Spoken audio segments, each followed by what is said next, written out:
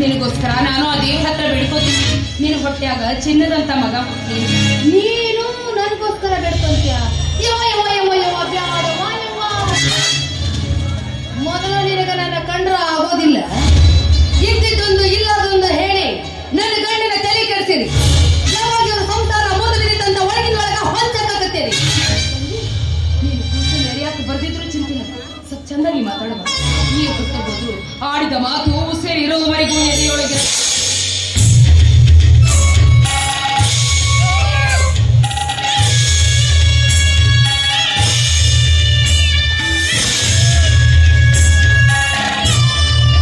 ನಾನು ಕಾಲೇಜ್ ಕಟ್ಟಿ ಹತ್ತಿದಳು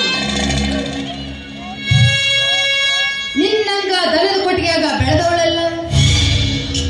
ಶಗಣಿ ಮುಟ್ಟಿದವಳಲ್ಲ. ಲೆಕ್ಕಣಿಕೆ ಲೆಕ್ಕಣಿಕೆ ಹಿಡಿದು ಬೆಳೆದವಳು. ಹೋಗಿ ಹೋಗಿ ನಿನ್ನಂತ ಮಂಜಲ ಕೈಯಿಂದ ನಾನ್ ಬುದ್ಧಿ ಹೇಳ್ಕೋಬೇಕಾ? ನೀನು ಸಣ್ಣಕ್ಕೆ ಆದ್ರೂ ಚಿಂತಿಲ್ಲ ನಿನ್ನ ಕೈ ಮುಗಿದು ಕೇಳ್ತೀನಿ. ದಯವಿಟ್ಟಿಂದ ಮಾತು ಮಾತ್ರ ಮಾತಾಡ್ಬೇಡ.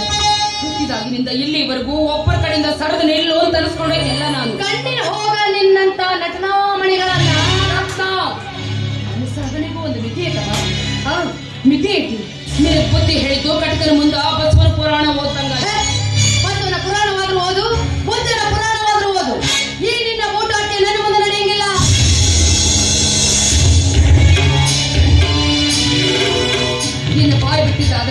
ಲೆಕ್ಕಡಿಗೆ ಹಿಡಿದವಳಿಗೆ ಕುಡುಗೋಲು ಹಿಡಿದವಳ ಕೈ ರುಚಿ ತೋರಿಸಬೇಕಾಗುತ್ತೆ. ನಾನು ನಿನ್ನಂಗ ಮನುಷ್ಯನವ ನಿನ್ನಂಗ ನನಗೂ ರೋಷ, ಆವೇಶ, ಸಿಟ್ಟು ಸೆಡವು ಎಲ್ಲಾನು ಐತಿ. ಆದ್ರೆ ಮಾನವೀಯತೆಯ ಮೌಲ್ಯಗಳಿಗೆ ಧಕ್ಕೆ ತರುವ ಮುಟ್ಟಾಳ ಹೆಂಗಸು ನಿನ್ನ ಕಠೋರತನ ಇದ್ರ ನಿನ್ ಹತ್ರ ಇದ್ದಿತ್ತು. ನನಗೇನೆ ಮಾಡಿತು?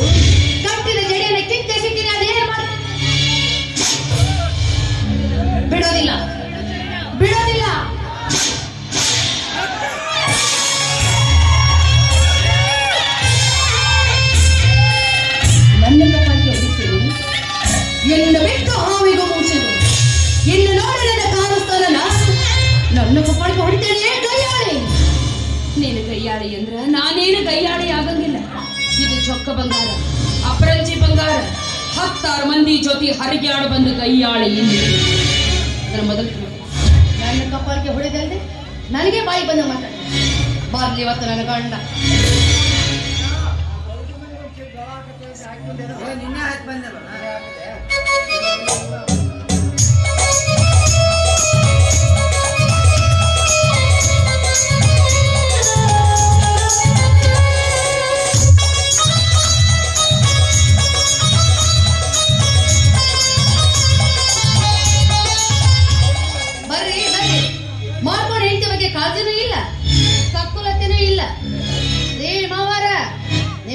ಸ್ವಲ್ಪ ಬುದ್ಧಿ ಹೇಳ್ರಿ ಏನಾಗತ್ತೆ ನಿನಗೆ?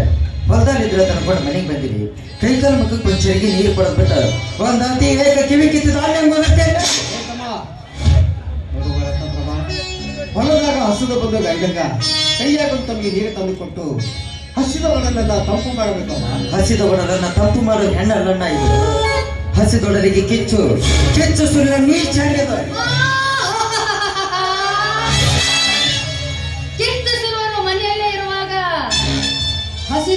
ಕಿತ್ತು ಸುರ್ಲಾರ್ದ ಹಾಲು ಹಾಲು ಬೇಡ ಹಸದ ಹೊಟ್ಟೆ ಕಿಚ್ಚು ಸುರಿದು ಹಾಲು ಕುಡಿಯೋ ನೀಚ ಮಂತ್ರ ಬಿಡ್ತಕ್ಕಿ ನೀನು.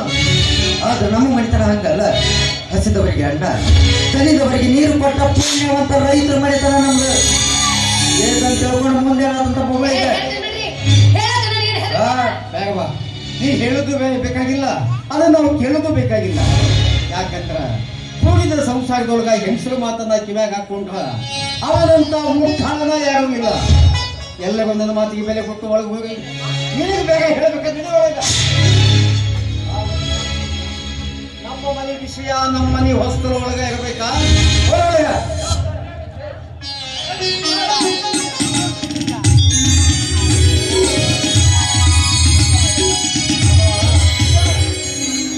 ಯಾಕ ಬಾಳ ದಿವಸ ಮೇಲೆ ಬಂದಲ್ಲ.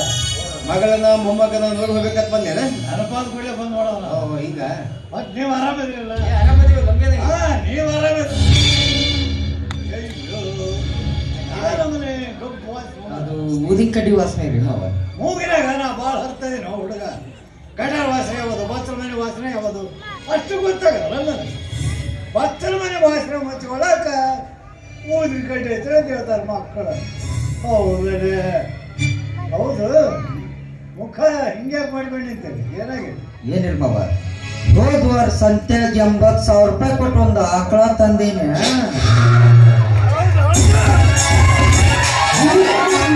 ಅವನು ಅದು ಹಗ್ಗ ಹರ್ಕೊಂಡು ಕೆಸ ಬಿದ್ದು ಮಾವ. ಎಂಬತ್ತು ಸಾವಿರ ರೂಪಾಯಿ ಕೊಟ್ಟು ಆಕಳ ತಂದೆ?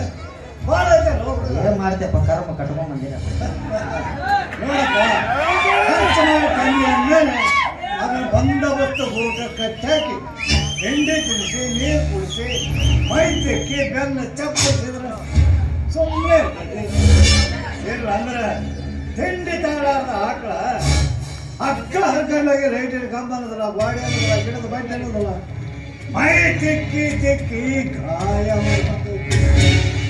ಅದನ್ನು ತನ್ನ ಬಾಜಿಗೆ ಕಟ್ಟಿದ್ರೆ ಮಕ್ಕಳಿದ್ದ ಆಕಳ ಎಲ್ಲ ಕೆಟ್ಟ ಖರ್ಚು ಮಾಡಿ ತಂದಿ ಅಂದಮೇಲೆ ಅದ್ರ ಮೇಲೆ ಒಂದು ನಾನು ಹೇಳಬೇಕು.